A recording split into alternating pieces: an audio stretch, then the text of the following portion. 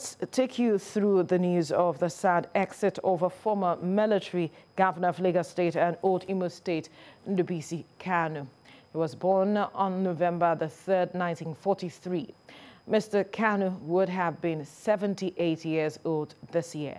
He was an accomplished military officer, having had a successful tenure in the Nigeria Naval Command, a graduate uh, a graduate rather of uh, National Defense Academy, India. He served in various leadership positions, both in core naval postings and in special assignments. He was a member of the Supreme Military Council between 1975 to 1976. He was the first military governor of Imo State, that's uh, between 1976 to 1977. He was a military governor of Lagos State in 1977 to 1978. At one point, he was a, a director of uh, Fidelity Bank PLC, amongst uh, other private sector institutions. Well, joining us to talk about the life and times of uh, the late uh, Ndubuisi Kanu is uh, broadcast journalist Ify Onyegbili. Good morning. Good morning. Good to see you. And Happy Same New year. Year. Happy New Year to you too. Now, let's talk about Ndubuisi Kanu, Yeah. who passed yesterday. That uh, news came as uh, a shocker to a lot of persons. Um, and also the fact that um, a major loss to Nigeria, as uh, some have put it, because of who he represented, or who he represents, and uh, what he stood for uh, while he was in active service, and afterwards, you know, fighting for democracy and all of that. Just uh, tell us.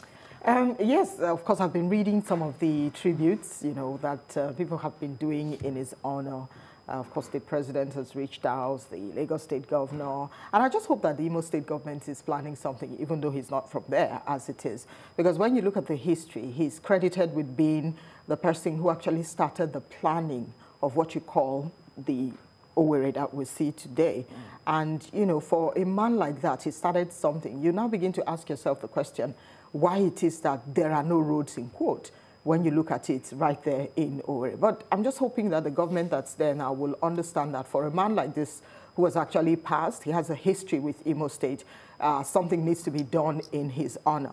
But let's move away from uh, Imo State where he was governor at some point, then he was moved to Lagos. Lagos. Um, this was a man who was at the forefront when you talk about fighting for democracy as it is. Yes. At some point, he was uh, a leader in Nadeco, Yeah. and he was right there, uh, you know, in the face of, of former uh, head of state, General Ibrahim Babangida, to say to Pushing him, for the return to democracy. that is it. And the actualization of, uh, The you June know, 12th. the June 12th thing. So that was a man who you would expect that he would side with his colleagues to say, look, let's continue with what it was that we're doing. But the man said, look, things started to get bad when, uh, you know, with that Babangida administration and all of that. He wasn't scared to say all of those things. He had to say it, and he kept talking about the reasons why things need to get better and why democracy had to be entrenched. So uh, for the man to have passed, no one can say, look, let's hold him back. Of he didn't have to go and all of that. that's not But he's gone, and I'm just hoping that they, they get to immortalize him as it is. So that, and that leads me to my next question. How do you think he should be immortalized in these two states, Lagos and perhaps Imo State? Well, Lagos has actually, when, when I heard he had passed, you know, I had this urge to go spend some time at, At the, the park, park. you know, that the Lagos state government actually uh, opened in his, name awesome, while he was still alive, you know.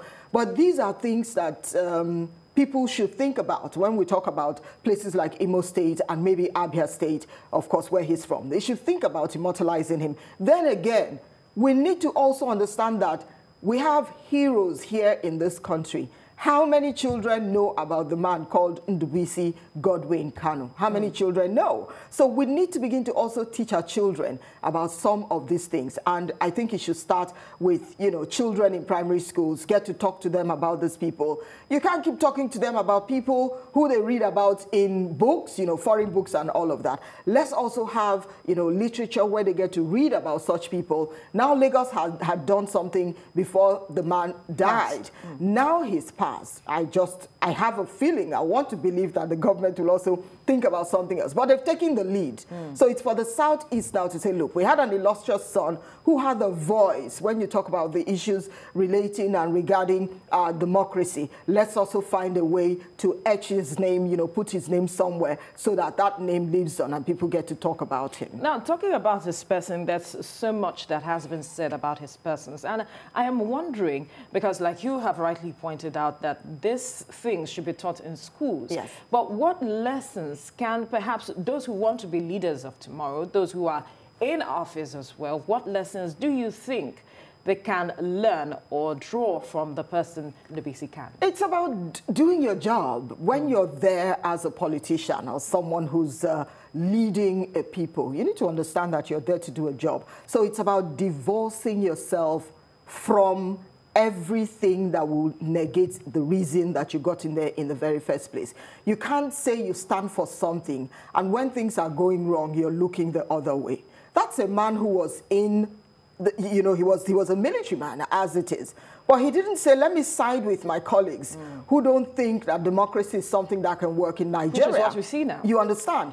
But he came out, he put his voice out there to say, this has to happen. He became a leader in the Nadeco days and all of that. So I think people should understand that the project should be Nigeria not mm. any one man Which is what as it is. A lot of uh, uh, people have been harping on, that we need to separate ourselves from all of the biases that yes. we see playing out and that are, you know, widening those fault lines that yes. we have been talking about, talking about religion, talking about tribe and all Culture, of it. tradition and all of that. You know, for him to have run a place like Lagos, you know, from Imo, all of these 76, 77, he was in Lagos and all of that, you'll understand that this was a man I would want to call a detribalized Nigerian. We need to look away from this idea of ethnicity, religion. I saw the news where people were talking about um, Kukah, mm. and the FG has come out now, which is the right thing. That the man is allowed to, you know, be who he wants to be and talk about issues of governance as it is. So, as you've rightly said, we need to look away from culture, tradition, ethnicity, where you're from or where you're not from. The idea is to find a way to move the project Nigeria forward forward. And I think that's what the man, uh, Ndubuisi Kanu, stood for, and people should try to emulate that. But uh, if we quickly, before we let you go, why do you think it's so difficult for people to separate themselves from this biases that we have pointed out. It, it, seems so difficult. It's, it's difficult. You know, when Nigerians, as it is, when, when something goes wrong, you're looking for one person to call. Okay, I have this uncle who's somewhere. I have this aunt who's somewhere who's influential and all of that. We need to, some things about our cultures, our traditions should actually, you know, change, move a step further or you know some of those things need to be put behind. That's who we are. That's the way we are. Children want to get into school now. You have to look for someone to call someone. The idea is for people to get whatever you want on merit. Mm. and if you're not able to perform as i always say show yourself the door or you ask the person to take a bow. So the issue of culture tradition and you know tying ourselves to to think so much, not looking at the essence of why we're there. It is something we should work on. And I hope, I'm just saying that if we do that, things will turn out differently. Absolutely. Broadcast journalist Ify Onyegbili, thank you for speaking with us. Thank you for having me.